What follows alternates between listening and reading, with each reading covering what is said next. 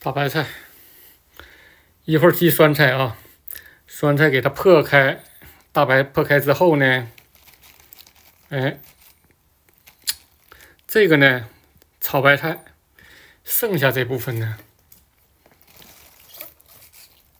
记酸菜，哎，同样的道理啊，这个芯儿炒菜，剩下的这些记酸菜。把这个呢焯一下，焯一下目的呢就是去除它的杂菌，嗯，然后呢使这个乳酸杆菌呢独立的繁殖，消除杂菌，这是计酸菜的一个关键的一步。这是焯过的白菜，焯完之后呢，给它晾凉啊，这样的话呢，就是既焯完之后晾凉，就能使那个呃白菜上的杂菌呢，呃这个杀灭，然后只保留这个乳酸杆菌，就是这种酸菜风味的这种这种菌，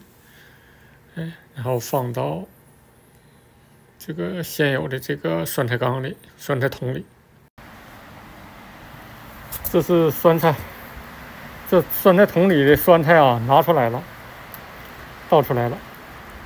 啊，这是超过二十天的，已经吃过了。这是压的这个，把新的那白菜呢放进去了，啊，这个呢环境呢上面是一个亭，这样防止下雨啊，下雨遮雨。然后呢，就是给它盖上盖儿。接下来呢，把这个这个原来的酸菜呢再放回去，嗯，放回去，放回来，这是记好的酸菜，压实。啊，压实，放回来，好，然后给它压上。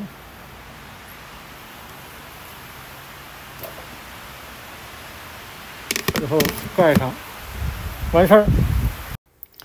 记好的酸菜就是这个样子的，很柔软，哎，